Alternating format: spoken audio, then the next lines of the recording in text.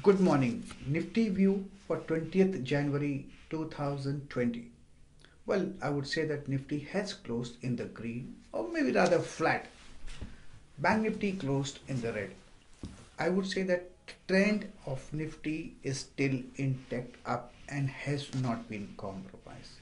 Very good chance Nifty has a very strong support in the vicinity of 12,275 this zone. Possibly we'll see an up move there's a very close support in the vicinity, closer to around 12,300. So that's the place I think should hold. Once it crosses these zones, I would say this zone here, possibly we'll see an up move. The target on the upside of the Nifty is 12,517.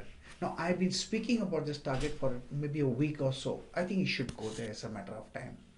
So Nifty still intact. The trend is if we get dips, those are buying opportunities. Let's look at Bank Nifty. Now, Bank Nifty has shown some weakness. The problem with Bank Nifty is that it is being weak for a while. It's been coming down, sliding down. But I feel that it is stretched on the downside, so it should come up. The first chance where we'll see that Bank Nifty is going up, once it starts to cross this zone, once that happens, Bank Nifty should go up maybe around 31,800 to maybe around 31,920 zones possibility. 37, 31,790, 896, these are the zones I'm looking at. It should go there. Support 31,400. So it is going up.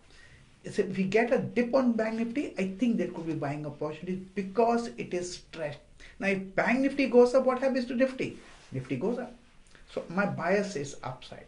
So trade long if you get dips. And remember, trading is only about making money, nothing else. Enjoy yourself.